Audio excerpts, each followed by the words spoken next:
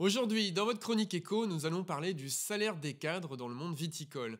Le cabinet de recrutement bordelais Sartou est associé à mener une enquête unique sur le sujet.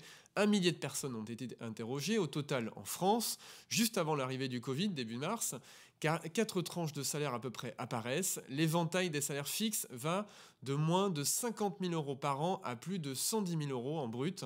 Mais les trois quarts des cadres du secteur ont une rémunération variable qui s'ajoute à ces salaires, et c'est souvent en Champagne que les cadres sont les mieux payés.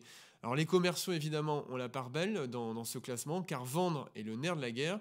Ils sont plus recherchés que les postes techniques, même comme onologues, et les jeunes diplômés peuvent tenter leur chance puisque avec 3 à 4 ans d'expérience pour un commercial, en France, il peut toucher entre 35 000 et 40 000 euros par an, plus une part variable. Il y a aussi des postes à saisir pour les jeunes générations de community managers, c'est-à-dire d'animateurs des réseaux sociaux, qui sont rémunérés autour de 30 000 euros par an, des offres donc à saisir.